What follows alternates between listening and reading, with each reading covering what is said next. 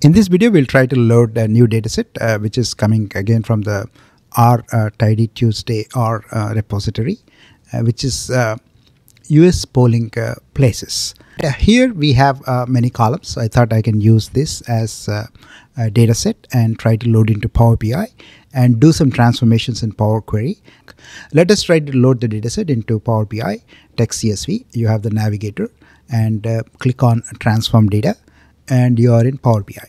Power BI has already identified and applied certain steps and let us try to go ahead and insert another step.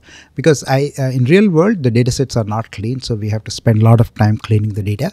So in this case I feel that the election date has some errors. So let us try to um, do uh, modifications to that code and let us try to uncheck uh, the unwanted things because it has identified non-date uh, uh, data types also as date. So let us try to uncheck them.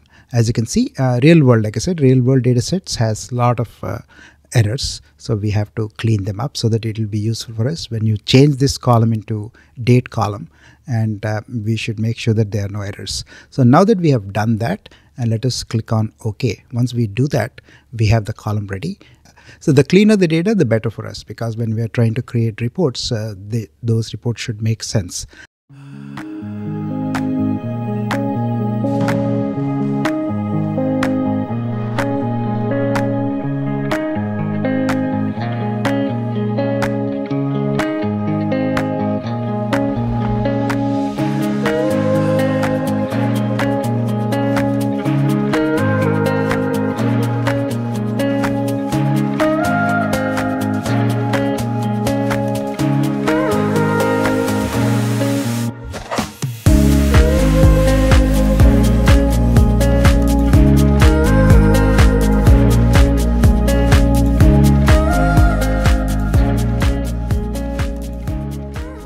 I think in a way it's a good idea to start using new datasets as a standard in any kind of tool. We, whenever we are learning, there'll be a, a specific uh, dataset which we kind of learn all the tricks of the tool.